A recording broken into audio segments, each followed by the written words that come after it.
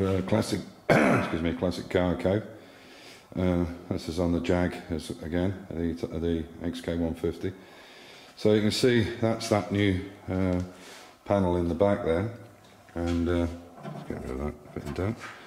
Um, so these are actually only uh, just put in with uh, self tappers on the side of it. You can see it fits really well now there.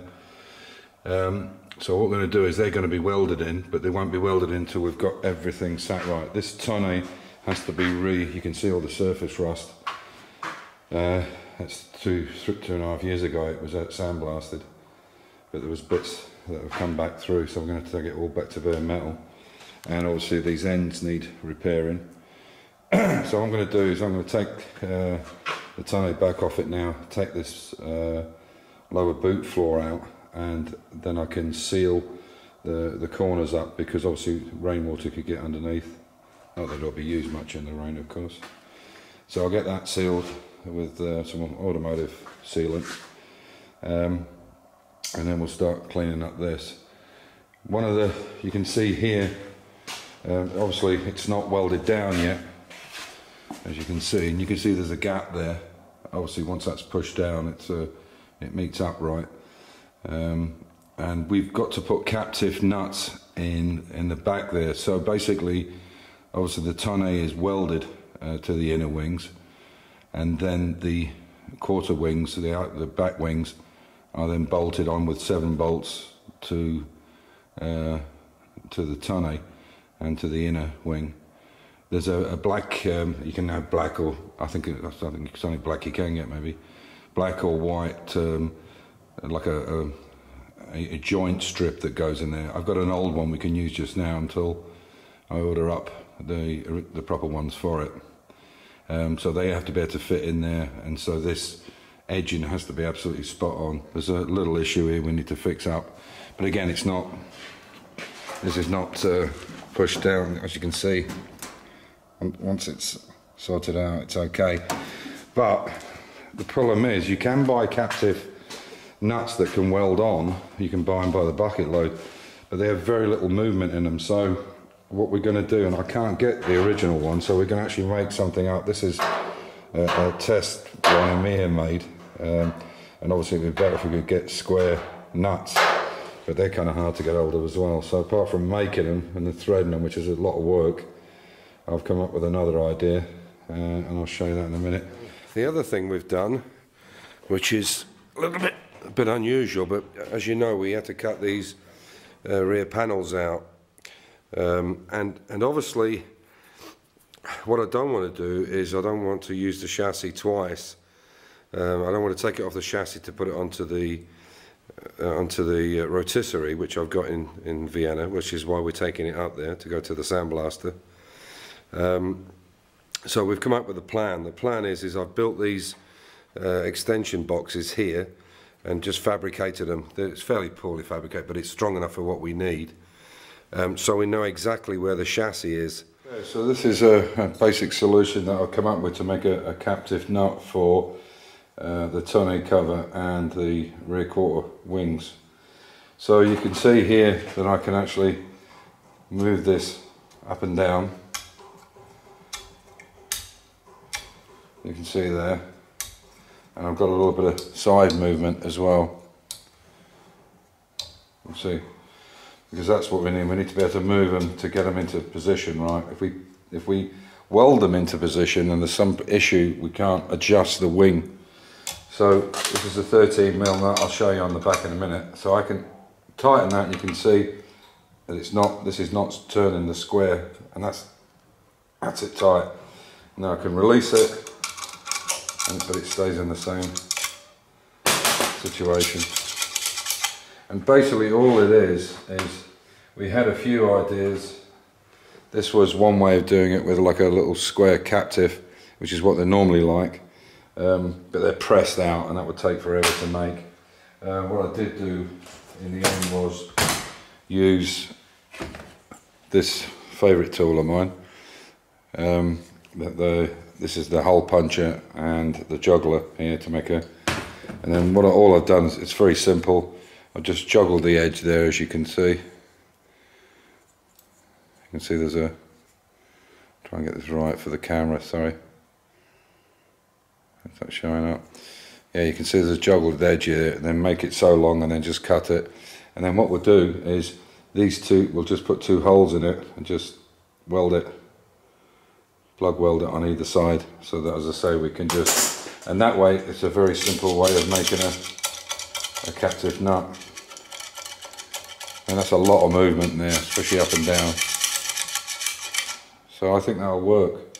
I don't see any reason why, why it won't. And I can, because you can't get your, your, your hand, well you can get to the back of it, uh, inside the tonneau, but you can move it. That's that's the most important thing is we can move it to where we want it.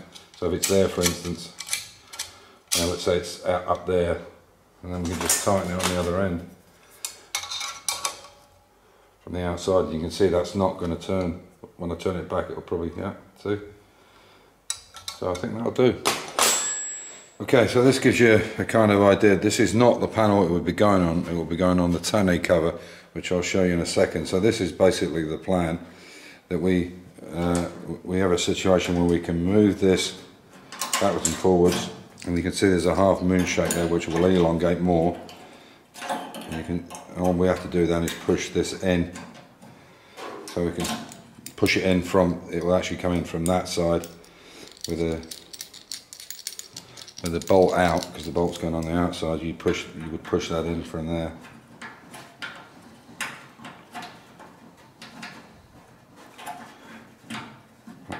There we go. So that would kind of push in from that side. And then give us a bit of wiggle room. Here now, this is, this is, so I, all this lip here has been, uh, here has been renewed and the lip underneath. I did this in a guillotine, this outer lip.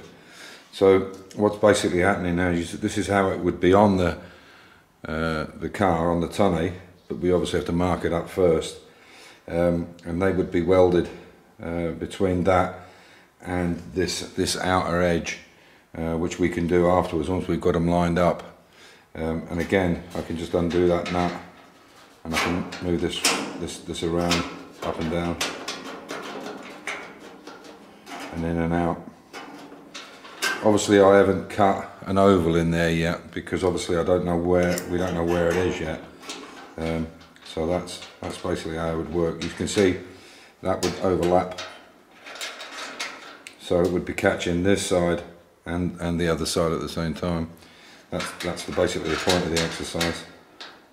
To, but it would have to be overlated slightly so that we've got some wiggle room up and down. So I hope that uh, is understandable what, what, we're trying to do.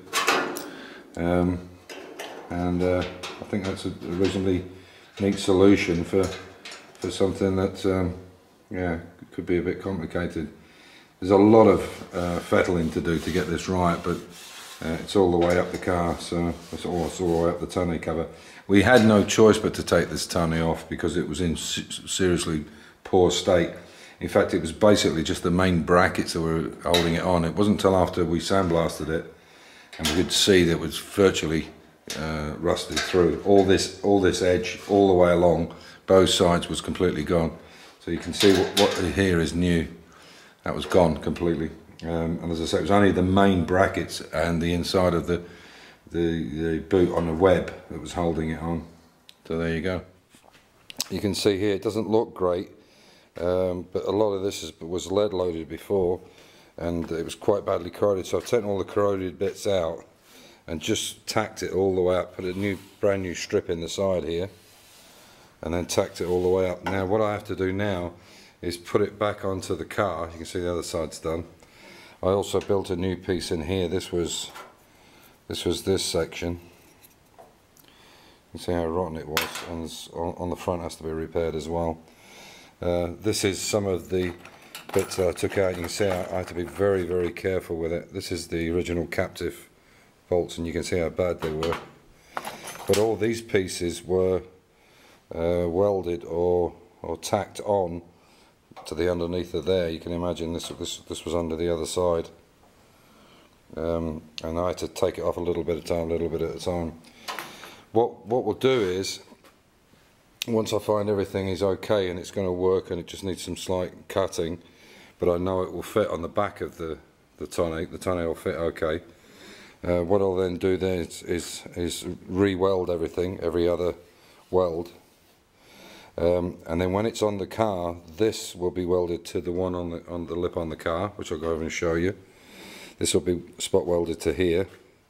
And then what we'll do is we'll actually, because there'll be a, basically a, a system like this, if you imagine this is the other side, this is the other side, and what we'll do is there'll be a gap like that, and what I'll do is I'll lead load right the way across this this gap here. Um, so I catch this and this and this, but it'll all be spot welded in place first, and you can see that will then take up those bad areas there.